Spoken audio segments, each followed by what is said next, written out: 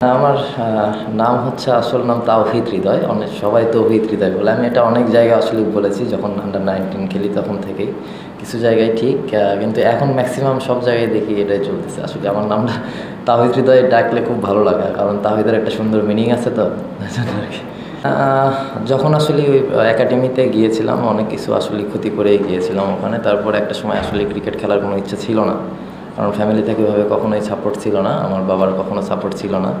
যদিও আমার বাবা মা খেলা আসলে বোঝে না, আমার মা আমি যখন জেদ ধরতাম মায়ের সঙ্গে, তখন মা একটু যতটুকু পেরেছে আর কি ট্রাই করেছে। আসলে একটা সময় আমি খেলার ইচ্ছা ছিল না সেই সময় সুজন স্যার আসলে আমাকে সেই ছোটো হইতেই যখন আমি অনূর্ধ্ব ষোলো খেলি সিক্সটিন তখন সুজন স্যার আমাকে ওখান থেকে নিয়ে এসেছে এবং উনি আসলে সুযোগ করে দিয়েছিলেন, ওখান থেকে আসলে ফার্স্ট ডিভিশন খেলা, আস্তে আস্তে ওখান থেকে আসলে আসা।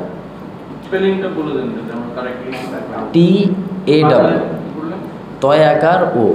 আর সবাই তয় উকার দিয়ে দেয় আর কি। না কোনো রশ্মি দিই কিনা না। আমি প্রশ্নটা করি। ও।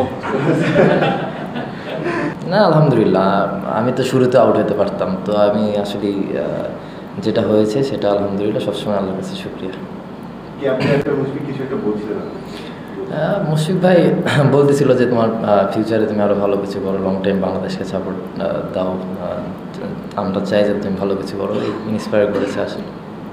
আমি প্রথম থেকেই চেয়েছিলাম যে যাতে আমি আমার ইন্টেন্ট যেন ঠিক থাকে, আমি কখনোই ভাবিনি যে একটু সেট হই বা এরকম কিছু। আমি ট্রাই করেছি প্রত্যেকটা বল, বলের মেরিট অনুযায়ী খেলার। আর যেটা বললেন সাকিব ভাইয়ের সঙ্গে ব্যাটিং করা অবশ্যই অনেক ভালো লাগার ব্যাপার। কারণ সাকিব ভাই অনেক এক্সপিরিয়েন্স ব্যাটসম্যান সাকিব ভাইয়ের সাথে ব্যাটিং করতেছিলাম এবং ব্যাটিংয়ের সময় অনেক কিছু শিখতেছিলাম। ভাই বলতেছিল যে এটা এইভাবে এইভাবে করলে ভালো হয়।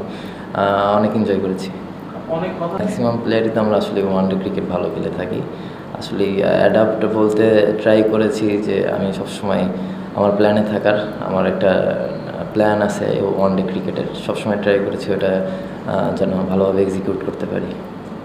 দু হাজার সাতের একটা কাহিনী, মুশিক ভাই ইন্ডিয়ার সঙ্গে ওয়ার্ল্ড কাপে ম্যাচ জেতার পর একটা স্টাম্প পেয়েছিল, আমি তখন অনেক ছোট একদম।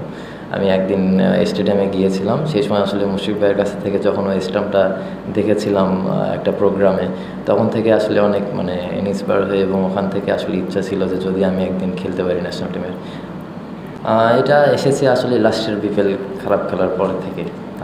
তখন থেকেই।